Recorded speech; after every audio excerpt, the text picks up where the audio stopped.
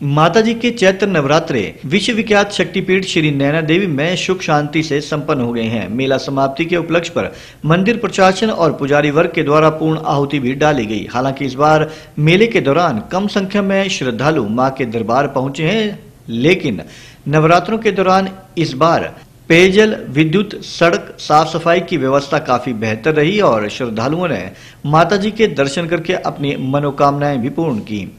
हालाँकि कोविड महामारी के चलते संख्या कुछ कम थी और सर्वाधिक भीड़ केवल रविवार के दिन ही देखने को मिल रही थी। मंदिर प्रशासन के द्वारा चैत्र मेले के दौरान सरकार द्वारा जारी की गई एसओपी का पूरा पालन किया गया और ये सुनिश्चित किया गया कि श्रद्धालु मास्क लगाकर ही माँ के दरबार में आए और सोशल डिस्टेंसिंग का पालन करें।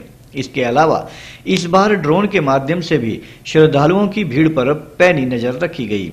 चैत्र नवरात्रों के पावन उपलक्ष्य पर कोरोना महामारी के निवारण हेतु पुजारी वर्ग और मंदिर न्यास के संयुक्त सहयोग से पूजा पाठ भी आयोजित की गई और इसकी पूर्ण आहुति भी डाली गई।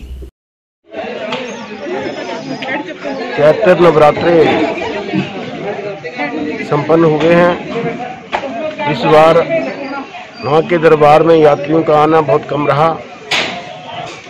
फिर भी पूजा पाठ और यज्ञ पूर्व वर्षों की भांति इस बार संपन्न किया गया जय माता की पूर्णाहुति के साथ ही चैत्र माह के नवरात्रे जो है संपन्न हुए हैं। हालाँकि इस बार चैत्र नवरात्र में जो पिछले वर्ष पिछले वर्ष तो खैर नवरात्र नहीं हो पाए थे, जो पहले जो नवरात्रे रही हैं चैत्र माह के उनके तुलना में जो है काफ़ी कम रश जो है रहा है, जो कि एक तरीके से जो है चिंतनीय भी था हमारे लिए, लेकिन जो कोविड की दृष्टिगत है प्रशासन के लिए काफ़ी जो है लाभप्रद ही रहा है।